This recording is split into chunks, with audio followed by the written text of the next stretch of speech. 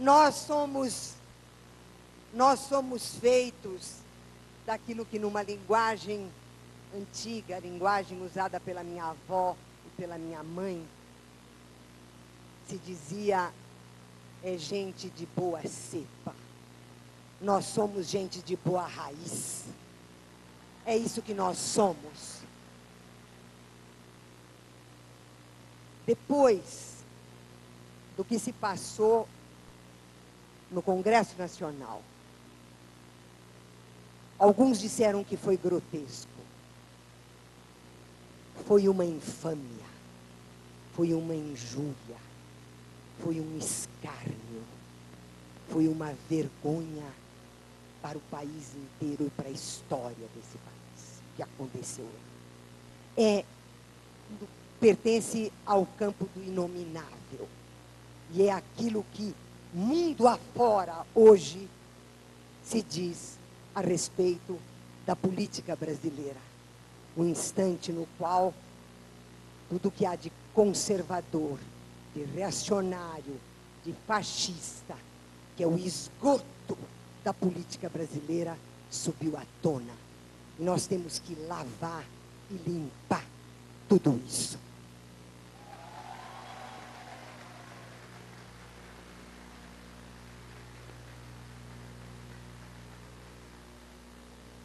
Eu queria começar dizendo que estão no Congresso Nacional com a pauta do boi, da bala e da bíblia, 55 projetos de lei de desmontagem de todos os direitos conquistados. Todos. Não sobra nenhum. Ao lado disso, nós temos esse, essa coisa gigantesca, que é com uma canetada, o golpista considerar que ele pode desmontar a previdência social, que ele pode desmontar todas as secretarias de ações afirmativas, em uma semana ele desfaz o trabalho de 15 anos não desfaz. Ele simplesmente anula, no plano da política institucional e burocrática, aquilo que nós fizemos. Mas ele não pode anular aquilo que nós somos enquanto sociedade.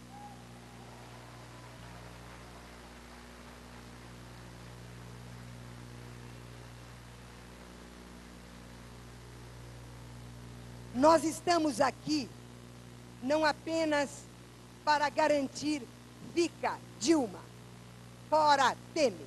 Nós estamos aqui para garantir aquilo que todos nós, e em particular aqueles que pertencem à geração que me antecedeu e à minha própria geração, aqueles que uh, viveram sob o sofrimento do ódio, da tortura, da censura, da morte e do desaparecimento produzido pelo terror do Estado. A nossa força foi a que nos fez construir aquilo que não pode ser derrubado com uma canetada e não pode ser desfeito com um golpe. O que é que nós construímos? Nós construímos uma nova ideia de democracia do ponto de vista do liberalismo e do neoliberalismo, a democracia se define como o regime político da lei e da ordem para a garantia das liberdades individuais na competição do mercado, marcada pela existência de partidos políticos, eleições e alternância no poder. A democracia não é isso. A democracia é, é aquilo que se caracteriza, primeiro, e, antes de tudo, como uma forma social de criação de direitos. A democracia é a instituição de novos direitos, a garantia de direitos existentes e a conservação dos meios pelos quais os direitos são conquistados. Um direito no Brasil tem um papel que poucos são capazes de avaliar. Por quê? A sociedade brasileira está.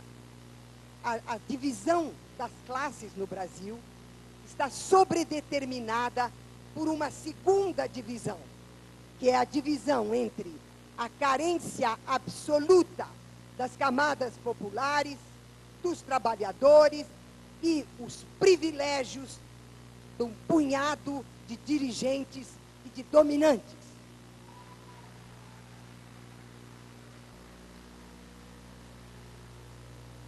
Uma carência é sempre específica e ela tende a se desfazer como reivindicação social e política quando ela é atendida. Um privilégio é, por definição, sempre algo particular. Porque se todo mundo tiver privilégio, não é privilégio nenhum. A marca do privilégio é que ele é uma posse de poucos.